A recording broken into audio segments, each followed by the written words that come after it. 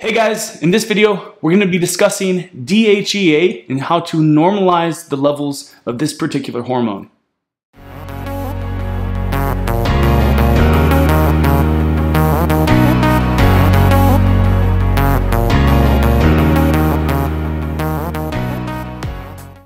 DHEA is an adaptive steroid that is produced primarily by the adrenal glands and to a lesser degree in the ovaries and the testes.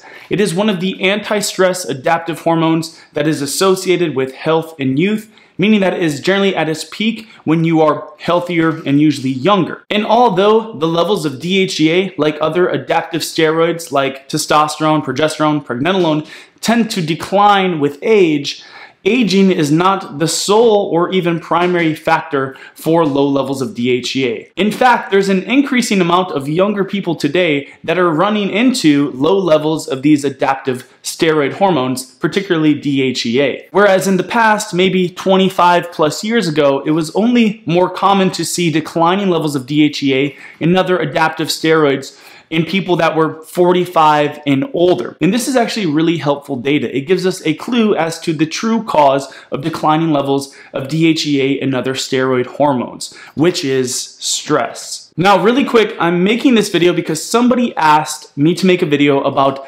potentially elevated levels of DHEAS or DHEA sulfate, which is basically the adrenalized version of DHEA. So it's DHEA that's converted into DHEA sulfate in the adrenal glands, usually in a response to stress and also to go down various pathways to make other hormones like estrogen or testosterone or pregnenolone or progesterone.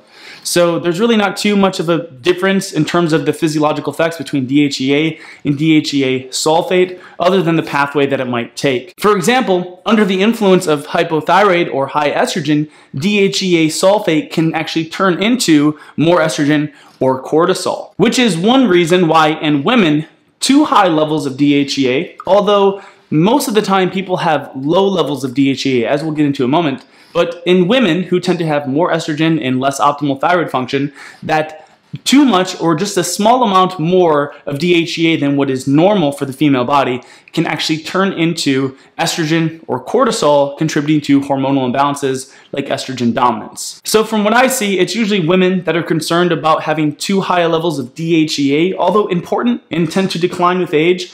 Keep in mind that 5 milligrams of DHEA is still 10 times the amount of what's normal for what the female body produces. Whereas in the male body, about 10 to 15 milligrams of DHEA is produced daily for normal physiological function. So getting back to this person's question about whether or not you should be concerned about elevated levels of DHEAS and how to lower it, let's first consider a couple of facts. The first being, which I already stated, that DHEA levels tend to decline with age, especially in old age where the body starts to produce little to no DHEA. Also keep in mind that the body doesn't need much DHEA for a male, about 10 to 15 milligrams a day to function normally and to be healthy, whereas a female needs about 10 times less than that. So in terms of elevating or lowering or regulating DHEA, it's important to consider the fact whether you have a female body or a male body. But again, in general, DHEA levels tend to decline with age and stress. So it's more common that people have low levels, insufficient levels of DHEA than they do higher levels of DHEA. So a lot of the times when somebody's concerned about having elevated levels of DHEAS, what's really going on, what's giving them their negative symptoms is not necessarily that they have too much DHEA, it's that the DHEA under the influence of a hypothyroid state and high estrogen can start to take the DHEA down abnormal or unhealthy pathways where it becomes estrogen and cortisol, having stressful catabolistic effects on the body, rather than turning into progesterone or testosterone and having an anabolic or pro-metabolic effect. And if we take a look at this study that talks about how stress can both increase and also chronically decrease the levels of DHEA, this helps us to understand the bigger picture around DHEA and hormones in general. You see, DHEA is a major antagonist to cortisol. And this study actually talks about how even short periods of stress can cause a subtle spike in DHEA. So this study points out something very important to understand about your hormones and something that Hans Selye has talked about some time ago about how all hormones tend to have antagonists or opposing hormones in the body to keep a certain balance. And as this study points out, DHEAS can actually increase under stress. And this is simply because during stress, hormones like cortisol and estrogen tend to rise, as I always talk about. And what can happen in a stress response is as the stress hormones, cortisol and estrogen rise, your body will actually increase its production of the anabolic steroids like DHEA to try to buffer that stress. And this actually helps to explain a lot of the confusion around the hormonal imbalances that tend to occur in things like PCOS, hirsutism, and even hair loss, where oftentimes these conditions are blamed on elevated levels of androgens. This is also true for acne as well.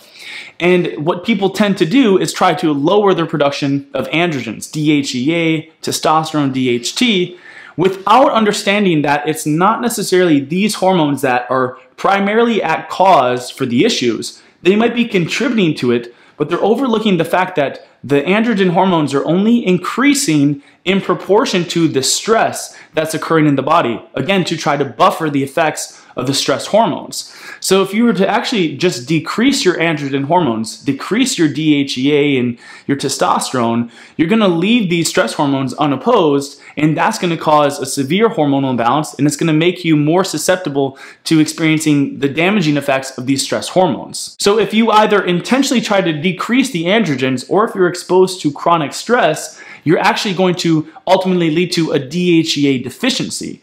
And if we go back to the study, it actually talks about how brief or relatively minor stress can decrease DHEA levels by 35 plus percent. It also points out how eventually chronic stress will lead to a decline in DHEA levels, meaning that in a short period of stress, you might have a subtle spike of DHEAS to try to buffer the stress hormones that rise during stress. And over time, if the stress is chronic enough, you're going to actually have a decline in DHEA levels, which explains both why DHEA levels and other androgens tend to decline with the stress of aging, but also why they decline just from chronic stress in general. So to summarize everything I'm saying here in a couple of sentences, if you're concerned about elevated levels of DHEAS, what I would recommend is that first and foremost, you don't attempt to try to intentionally lower your levels of DHEA. This is going to lead to new issues. Because first of all, you need DHEA to buffer the effects of stress and to produce other protective hormones like progesterone and testosterone and DHT.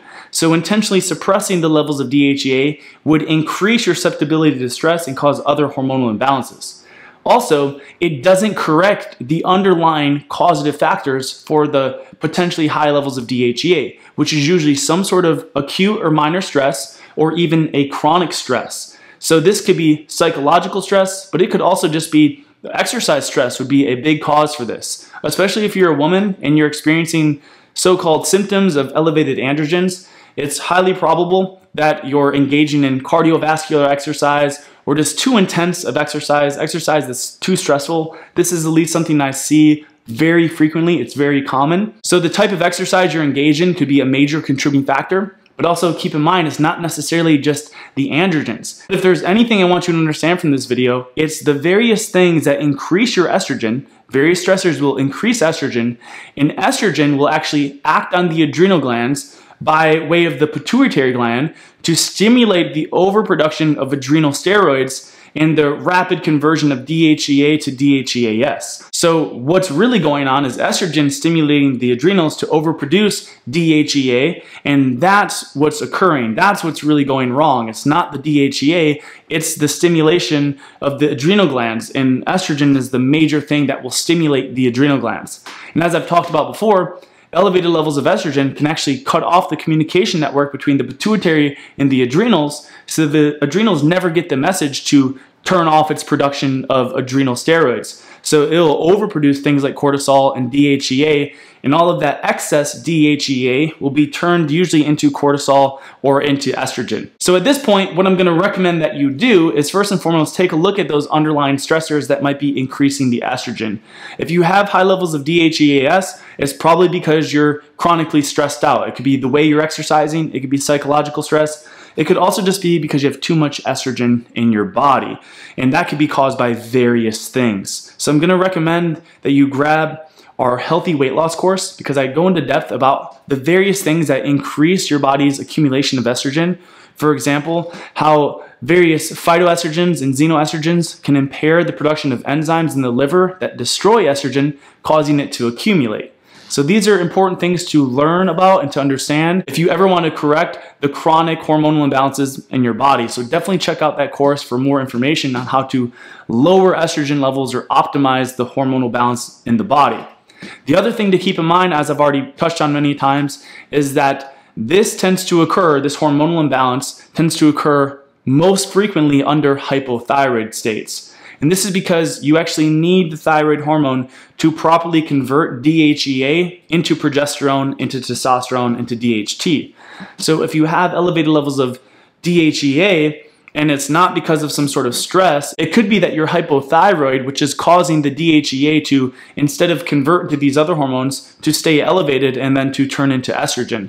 Not to mention that because the thyroid tends to regulate estrogen, if the thyroid's low, your estrogen levels are probably high. So hopefully this answers your questions about DHEA and whether or not you should lower elevated levels of it. If you do have elevated levels of DHEAS, which is less common because more people have declining levels of it from chronic stress, but if it is elevated, keep in mind that this is usually just because there's some sort of stress that's overstimulating the adrenal glands and causing hyperadrenalism. So if you are experiencing elevated levels of DHEAS, then what you're gonna want to do is not suppress the DHEA. You're gonna wanna get a handle on the underlying root cause, which is the stress.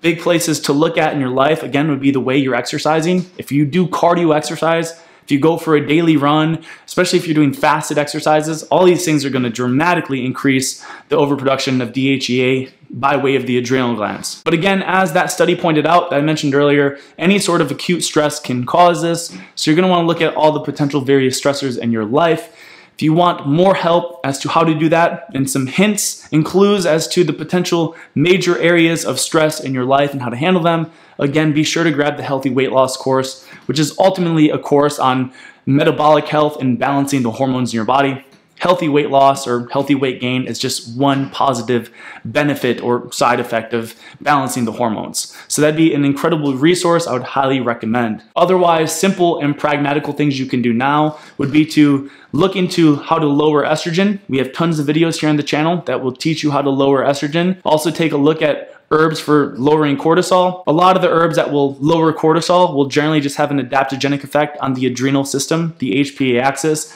and that could help prevent the overproduction of DHEA and other adrenal steroids. So I'd probably take a look at supplementing with various adaptogen herbs like ashwagandha, which regulates the HPA axis.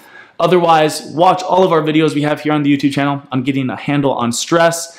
And between those videos and the healthy weight loss course, you should be well on your way to achieving a more optimal hormonal balance. However, that does bring this video to a close. If you've enjoyed it and found it helpful, be sure to give it a thumbs up.